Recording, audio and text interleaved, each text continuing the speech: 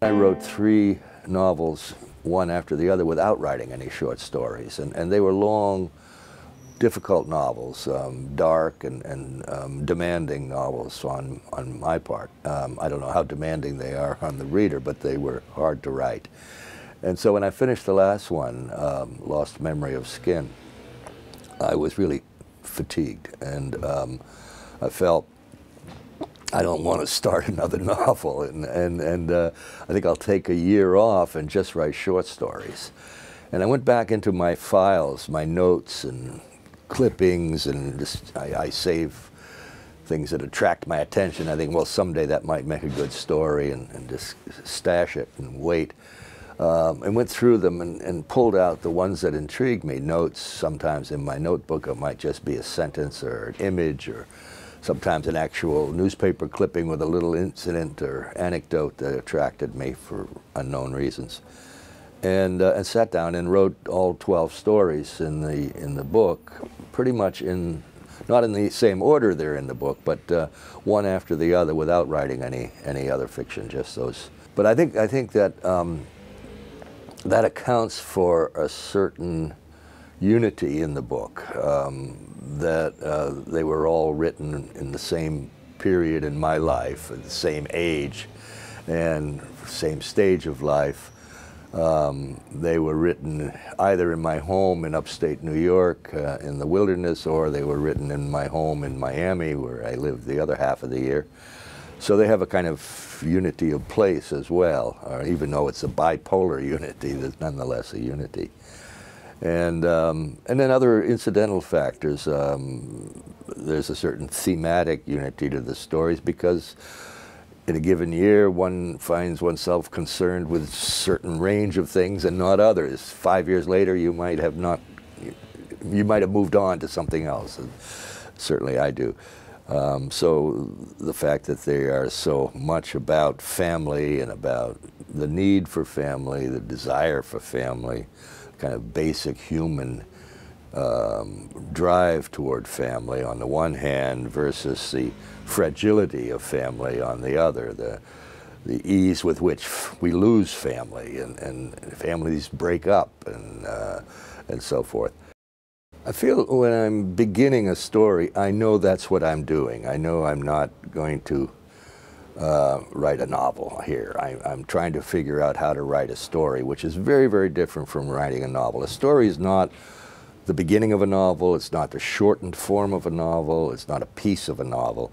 It's, it's as different from a novel as a screenplay is different from a novel, or a theater piece uh, is different uh, from a novel. The rules are different over here, you know, it's, a, and it's as if I would prepare myself and very differently if I were swimming the English Channel than I would if I were swimming um, in an Olympic-sized swimming pool uh, and were swimming against time. Um, I would swim much faster for a much shorter period of time.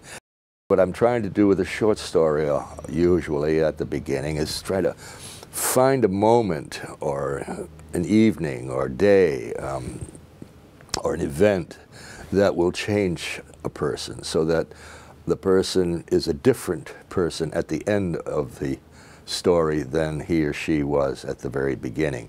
Maybe just awareness is different, maybe consciousness is different, um, but something has happened over the course of that story that to change that person. I feel it almost physiologically uh, that I'm using a different part of my brain than when I'm writing novels. I mean, it's almost as if it's right side, left side kind of switch. And the side of my brain, I think that um, writes poetry, writes or does music or mathematics or the more abstract and and uh, um,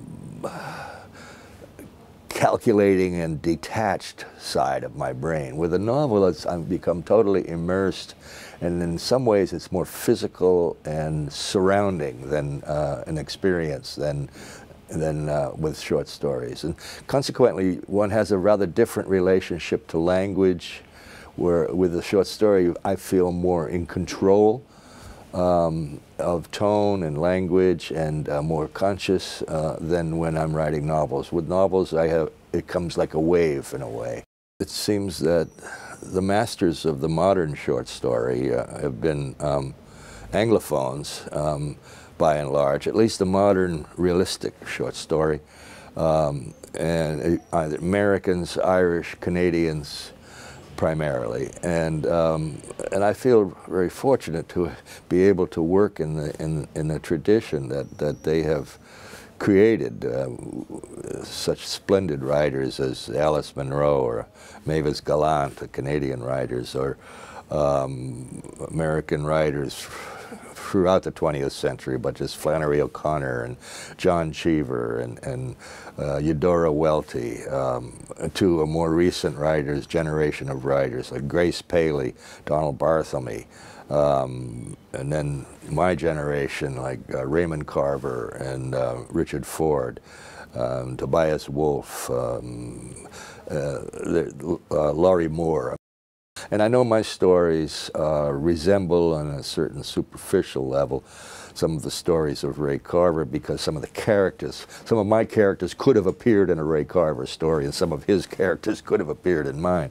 But our treatment of, them and our approach to the language uh, with which we present them and so forth is quite different. Uh, I think that um, I'm much more interested in the format and, and mode of telling stories of a writer, say, like, um, um, well, like Mavis Gallant or, or, or um, Alice Munro, which is somewhat more digressive and, and elaborate uh, than uh, the Carver's minimalist approach.